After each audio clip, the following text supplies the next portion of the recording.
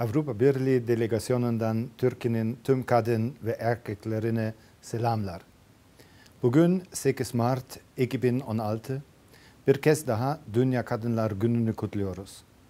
Bugün dünyanın dört bir yanında aile içi şiddet, ayrımcılık, erken ve zorla evlendirme, yoksulluk, çalışma hayatından dışlanma, sosyal ve siyasi hayatta yetersiz temsil edilme, silahlı çatışmalar ve sivil ayaklanmalar gibi pek çok tehdit ve zorlukla karşı karşıya bulunan tüm kadınları hatırlama günüdür. Bugün aynı zamanda kadına yönelik eşitsizlik ve adaletsizlikle nasıl mücadele edilmesi gerektiği üzerinde düşünülmesi gereken bir gündür. Öte yandan kadınların daha fazla güçlendiğini, toplumsal cinsiyet eşitliğinin arttırılması yönünde çabaların hızlandırıldığını ve bu çabaların sonucunda olumlu birçok hikayenin ortaya çıktığını da görüyoruz. Bunlar kadınlar ve eşitlik için daha fazla adım atılması yönünde bizlere güç veriyor. Geride bıraktığımız yıllar içinde Avrupa Birliği ve Türkiye kadın hakları ve toplumsal cinsiyet eşitliği alanında her düzeyde yakın bir işbirliği ve diyalog tesis etmiştir. AB yalnızca mali destek vermekle kalmayarak hem ülkedeki kadınların durumunu hem de Türkiye'nin kendi politika ve uygulamalarını da izleme, izlemektedir.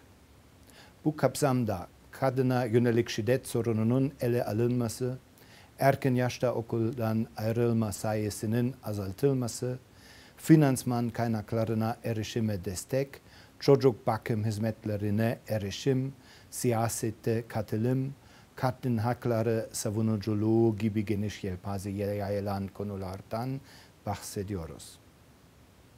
AB'nin Türkiye'de kadın haklarını ve toplumsal cinsiyet eşitliğini destekleyen en büyük donör olduğunu ifade etmekten gurur duyuyorum. Sağlanan mali yardım sadece on binlerce kadının yaşamına dokunmakla kalmamış, aynı zamanda da politikaları belirleyenlere ve uygulayanlara da gereken kapasite ve araçları da sağlamıştır.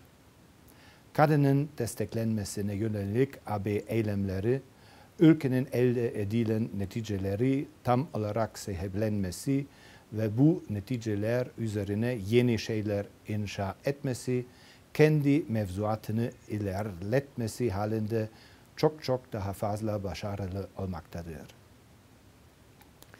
AB, Türkiye'de kadın haklarının geliştirilmesi ve kadının statüsünün yükseltilmesi doğrultusunda uğraş veren kadın olsun, erkek olsun herkesle dayanışma içindedir.